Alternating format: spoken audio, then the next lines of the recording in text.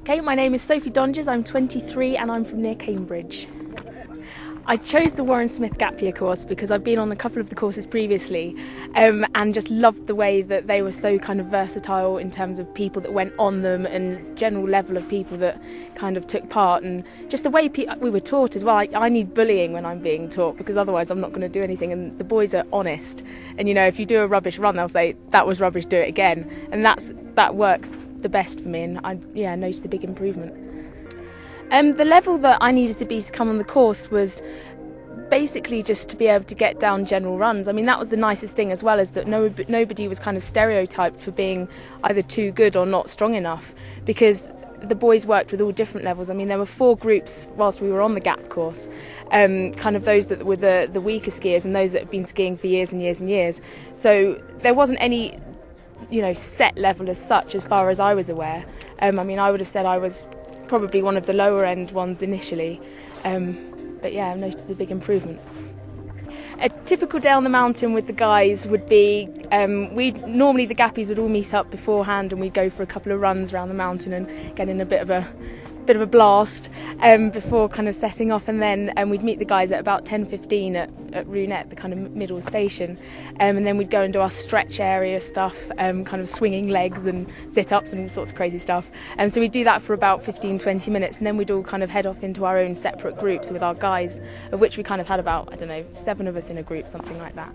Um, and we kind of did drills and we did fun stuff and we kind of just practiced and practiced and then we had quick lunch. Lunch wasn't important at all. It was just eat, eat, and get out. Um, so we had lunch kind of you know one o'clock till 1.20, 1.30. and then um, and then we'd kind of head back up, do a few more runs and stuff until three, three thirty, and then we'd all end up at 19.36 having a beer. Brilliant. Um, the level of coaching that we we had on the course was exceptional. I mean, the boys were all. The nicest thing about them is that everyone kind of aspires to ski like them because they look really cool on the mountain. You know, they're not kind of chalet boy people that wave their arms and do puffery stuff. They they look awesome. So it kind of made all of us want to learn that much more to, kind of ski like that. And in terms of personalities and stuff, every each one of them is, has their very individual personality, which is incredible. You know, they kind of they all teach in different ways, but it all ends up giving the best result at the end of the day. And yeah, awesome guys, and they'll come out for drinks with us at the end of the day. And yeah, really, really good. Made some good friends. We worked on a few different things during the course, kind of ranging from um, on piste stuff with carving and short radius turns um, to the more kind of um, beyond central theme kind of stuff, I guess, which is more the moguls and the variable terrain and trying to get down ridiculously narrow things which are really gnarly and scary but at the bottom you get there and you just kind of I just did that. That's amazing. You know you just you just work on a bit of everything so that you're always going to be in control and yeah you're always just going to be on it and loving every minute. Um, my main thing with skiing was most definitely confidence, and I set myself a New Year's resolution um, just before the course began to you know, to get some balls and to actually push myself to do stuff. And I rather stupidly told all the boys this as well, and they used it against me every single time I came down something like a wimp. And they just say, Sophie, what's your New Year's resolution?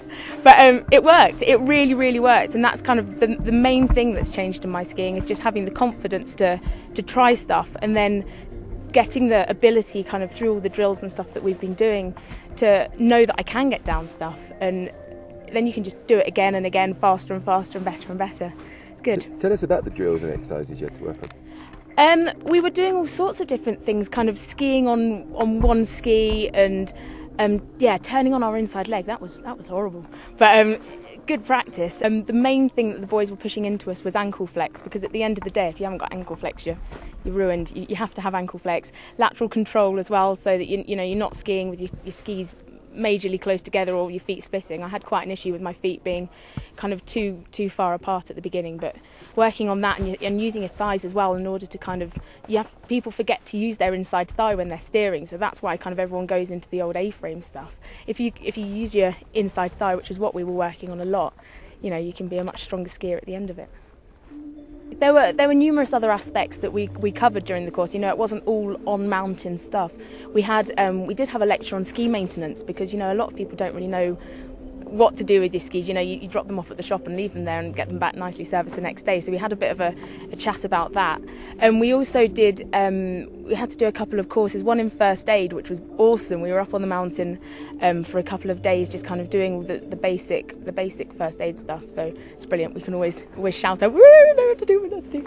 Um, and then we also did um, an avalanche um, safety course as well, which was kind of a couple of hours in the classroom before coming up on the mountain um, and actually kind of using transceivers and hunting for people with probes and shovels. And it was it was good. It was really good.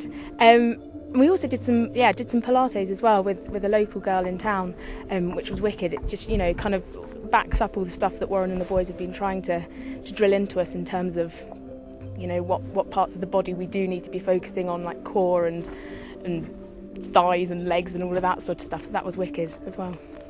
Um, there was the biggest eclectic mix of people on this course you could ever imagine. I mean, from a 16 year old um, young guy to a 53 year old man, um, all wanting the same thing at the end of the day, just to have fun, to, to improve their skiing. You know, I think there were some crazy, crazy characters and there were some very quiet characters. And the amount that people changed and bonded throughout the course is just incredible. I think I, I particularly feel as though I'm leaving here with more friends than I would have ever thought. You know, you come away on a course knowing that there's going to be 30 people on it, you think, well, you know, I might make friends with five, six people really well, and then everyone else will be a kind of, you know, will be there. But everyone, everyone means something really important to everybody else. It's wicked. You know, everyone, you know, everyone's kind of ups and downs and strengths and weaknesses, and it, it's lovely. We can all be there to support each other through it. It's wicked.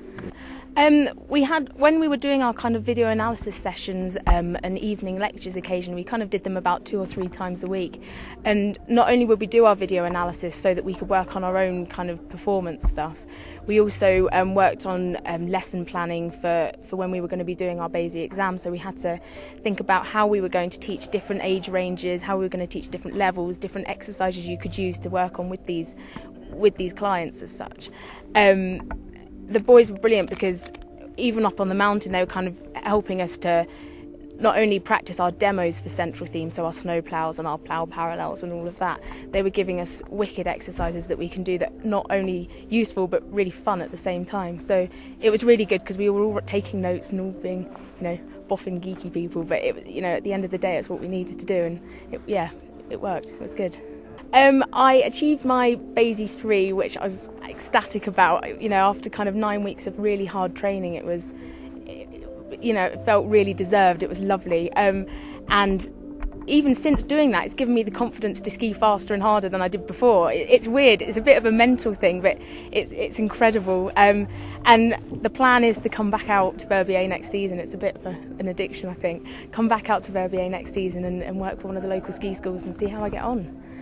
I would definitely recommend the Warren Smith Gap course to everybody and anybody I know. I know that there's quite a lot of people that I've met that just on the week courses and um, the week courses that have been out here. Um, and we've raved and raved about the course and just said how much fun we've had. And I, I, know for certain that a good handful of those guys that we've just kind of raved about for 10 minutes have booked onto the Gap course already. You know, it's, it's brilliant. I, I want my mum to come and do this course. She'd love it, absolutely love it. Anyone can do it, anyone and everyone. It's awesome.